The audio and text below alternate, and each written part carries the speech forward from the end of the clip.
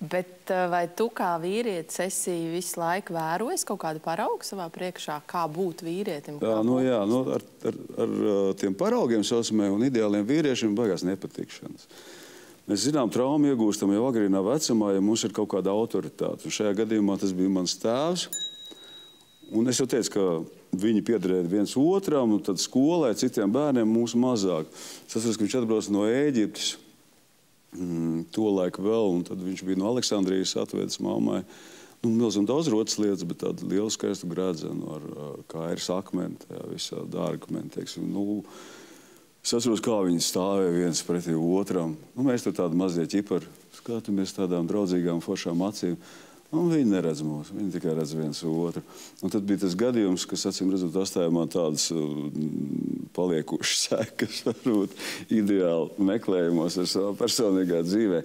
Jo tēvs man uh, bija uzaicinājis uz uh, viņu kopējām sudraba kāzām. Mm -hmm. Tad viņš mamma bija nu, turējis noslēpumā tur scenāriju.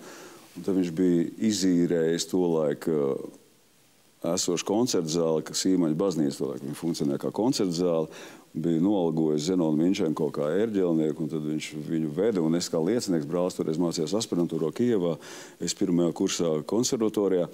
Tad, Mēs atverās durvis, tiek atvērtas durvis, teiks, un mēs ejam jā, līdz altāriem praktiski, jā, skan šī mūzika, un viņš mātei dāvina augstvērtīgi, ļoti gaumīgi un fantastiski izgatavotas sudraba rotas lietas ar dzintaru. Nu, pēc tā visu piedzīvotā, tu saproti, ka ir kaut kas tāds, par ko šo, šodien un arī tajā laikā faktiski tā uh, nerunājam. Tas kaut kāds bruģinieku romāns. Netipisks, ja? un, un, un tad tu mēģini kaut kā šo ideālu, viņi no mums noklusē daudz, ja, tādas strīdīgas situācijas. Nu, tādas, jā. Mums neļauj manīt, ka starp viņiem ir kādas domstarpības, nu, kas noteikti arī bija.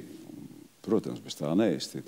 Un tad tu dzīvo tādā, tādā um, siltumnīcas vidē, pasargāts no visa, domājot par kaut kādām ideālām attiecībām. Un dzīve jau nedaudz ievieš kaut kādas korekcijas un nesaprot, kāpēc.